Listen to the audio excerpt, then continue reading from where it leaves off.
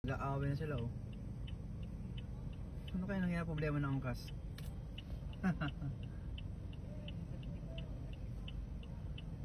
Kawawa naman yung angkas. Ba't eh, nakapara lang naman yung angkas dyan eh oh. Kanina pa sila nagkakaroon ng problema eh. Hindi. Hindi natin alam kung sino pa yung problema dito eh. Wala na natin ano dito. Kasi nakaparada dito yung angkas. So nung ano, parang nagbaba, ewan ko lang kung anong dahilan ng itong naka-security, itong enforcer. Eh, bakit? Opo, pero hindi pwedeng, alam ko talaga hindi pwedeng matagal dito eh. Kaya nagkakaroon sila ng ano. Maraming nagkaroon po ng ano to, laging nagkakaroon ng problema tong area na to. Kailangan pag nag ano po kayo, nag, Dito na. nag-book, kailangan nakaabang po talaga kayo.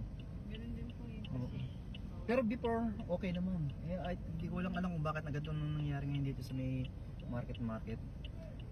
So ayan, nagkakaroon ng problema dito si Angkas kasi ano, si ng BGC ano. So ayun. Natin. Bakit niya kinikitan? Ayun na.